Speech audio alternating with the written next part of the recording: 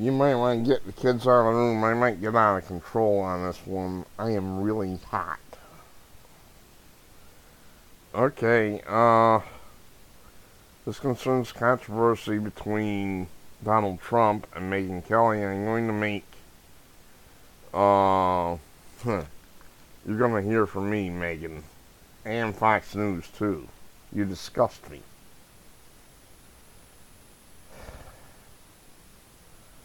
Apparently Kelly has struck a nerve. In case you don't know, uh, the first thing she goes and asks Trump is at the so-called Republican debates, you've been known to uh, call women who um, talk who you disagree with, call them ugly, fat, disgusting pigs or something like that. And she goes on and on. Uh, that was a personal attack. Excuse me, but it's unprofessional in the extreme. You disgust me, madam. I'll be honest with you, uh, uh Megyn. I would have walked out. I would have said, okay, I'm here to talk about po presidential politics, what I would do, what my agenda is. I'm not here to talk about personal things. You are out of line, madam. A presidential debate is not a mandatory part of running for president, and I would have walked out. That's what all the candidates should have done. Now, you, madam, your behavior was disgusting as far as I'm concerned, and I'm not taking that back.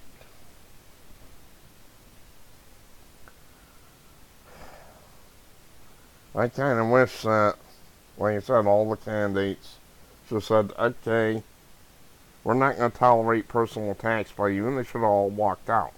Maybe that would have taught you a lesson. You, madam, do not deserve to call yourself a journalist, despite what uh, this article says.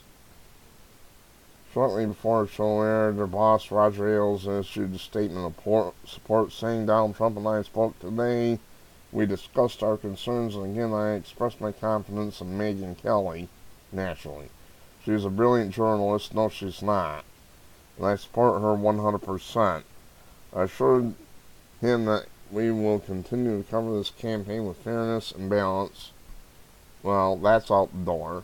We had a blunt but cordial conversation on, and the air has been cleared. You may have heard that there's dust up involving yours truly and presidential contender Donald Trump. Kelly said on her show tonight. She said she decided not to respond to Trump's comment, adding that he has decided to decline to apologize, and I certainly will not apologize for doing good journalism. Well, when you do some good journalism, then we can talk about that. But frankly, ma'am, I don't think you're capable of it. You are an unprofessional. Your behavior at the debates was grossly, grossly unprofessional. You should never have ever tried to bring up personal stuff. It's about politics, plain simple. I would have walked out. I'm sorry. Fox News, you can go fuck yourselves as far as I'm concerned. I don't watch, I don't turn on TV and watch ABC, NBC, CBS either. They're bad enough, but this just takes the prize. I mean, anyone that doesn't know that 630 News at Night isn't done in a studio, uh, it's a pre-packaged uh, entertainment package. I got news for you. You uh, are out of touch. If you don't know, these are basically entertainers rather than uh, news people. I got uh, Bridge in Brooklyn to sell you dirt cheap, 50 bucks. These are entertainers. They're not news people. They don't give a rats. They don't give a rat fuck about uh, the news. They care about entertaining and they care about ratings. But this just took the prize. It got me. It tripped me right off. Megyn Kelly, far as I'm concerned, you should have been fired on the spot. And I wish the candidates would have simply walked out on you. I would have walked out. I would have said, I don't need this. I'm not answering your questions. You're unprofessional. And I would have walked out. What are you going to do about it? Nothing.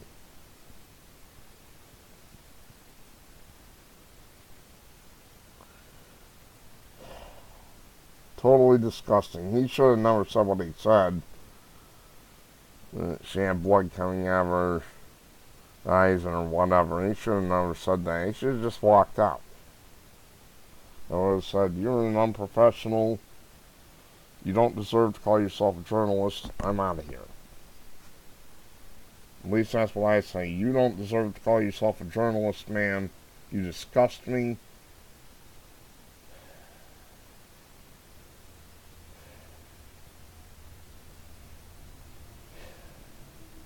Uh, for the good old days when people had integrity and just walked out on people like you.